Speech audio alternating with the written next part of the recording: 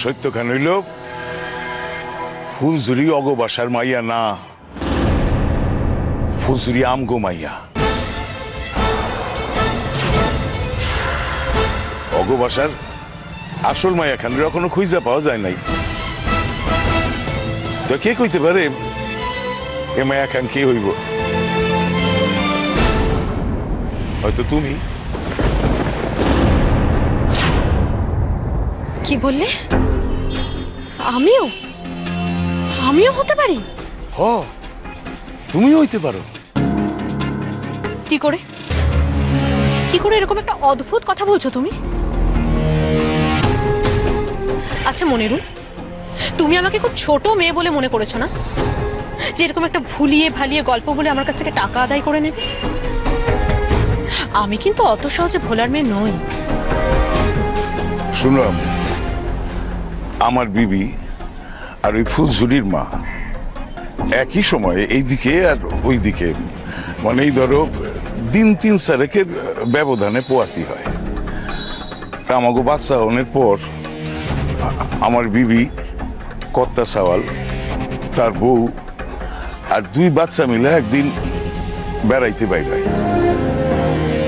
তখন এক গাড়ি অ্যাক্সিডেন্টে কর্তা সাওয়াল আর কর্তা সাওয়ালের বউ নাকি মারা যায়। হ্যাঁ গো, বাচ্চার আর কোনো সন্ধান পাওয়া যায় নাই।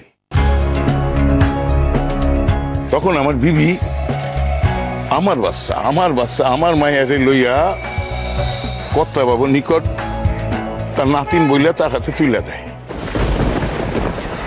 বাবু নাকি তখন এতগুলি শোক এক লগে সহ্য করতে পারতেন না।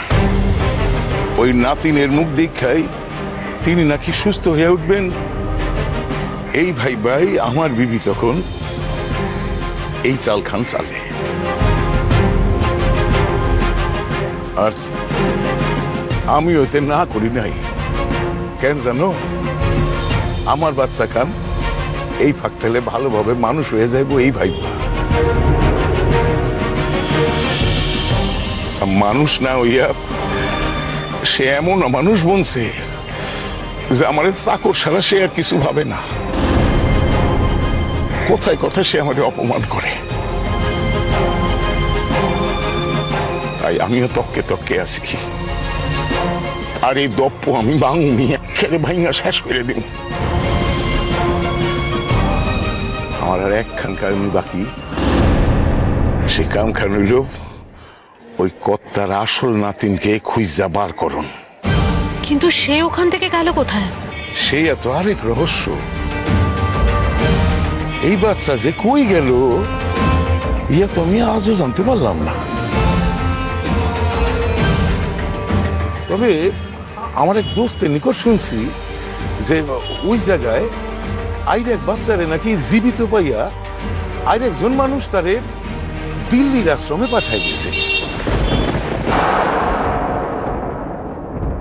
দিল্লির আশ্রম? ওই দিল্লির আশ্রমে তো আমি একদিন আমার সঙ্গে কি এই ঘটনার কোনো যোগ আছে? আমার জীবনটা কি এরকম স্বপ্নের রাজকন্যার জীবনের মতো হয়ে উঠতে পারে কোনোদিন? ভাবো। কিছু না। শুনছি তুমিও নাকি দিল্লির আশ্রম থেকে এ- এই বাসায় এসো এলডিগাই কইতে আসি। তোমার জীবন খান পুরাই বদলায় যাইতে পারে। শুধু পরমানের অপেক্ষা। আর আমি কইতে আসি এই পরমান আমি শুধাই ঠিক গেছি। এই টেহা বহাল লিগা তাই। কত টাকা লাগবে তোমার?